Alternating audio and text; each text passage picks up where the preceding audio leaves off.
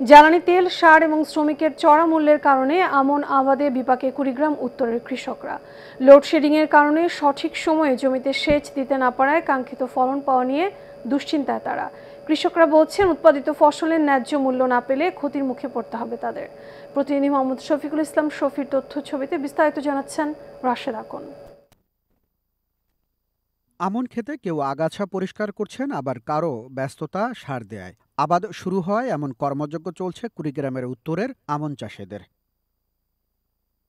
কৃষকরা বলছেন, জ্বালানি তেল, সার ও শ্রমিক খরচ বাড়ায়, চাষে খরচ বেড়েছে দ্বিগুণ। তারপরও আমন আবাদ শুরু করলেও লোডশেডিংয়ের কারণে জমিতে সঠিক সময় সেচ দিতে না পারায় কাঙ্ক্ষিত ফলন পাওয়া নিয়ে শঙ্কায় তারা। তবে উৎপাদিত ফসলের ন্যায্য মূল্য পেলে ক্ষতি পুষিয়ে উঠতে পারবেন কৃষকরা।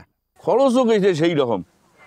যদি খরচের ন্যায্য মূল্য না পাই ভাই তাহলে ভাই আমরা মাঠে মরি যাব ভাই। কারেন্টের বিল তিন চারটে বাস খেয়েছে মোটর লাইন কাটিয়ে দিয়ে গেল। তেলের দাম বাড়ছে কামলার দাম বাড়ছে কামলা পাওয়া যায় না। কৃষক তো হতাশ হয়ে গেছে সারের দাম বাড়ছে। ভালো ফলন পেতে কৃষকদের বিভিন্ন পরামর্শ দিচ্ছে স্থানীয় কৃষি বিভাগ। সার্বক্ষণিক কৃষকদের পাশে থেকে পরামর্শ দিয়ে যাচ্ছে আশা করি এভাবে বজায় থাকলে কৃষকরা তাদের ফলনও ভালো পাবে এবং আর্থিকভাবে যদি ধানের দাম বেশি পায় সেক্ষেত্রে কৃষকরা তাদের আর্থিকভাবে তারা অনেকটা লাভবান হবে। উৎপাদন খরচ বাড়ায় অনেকে ছেড়ে দিচ্ছেন আমন আবাদ, তাই ঘুরে দাঁড়াতে সরকারি প্রণোদনার দাবি কৃষকদের। Rashed Akon, Asian television.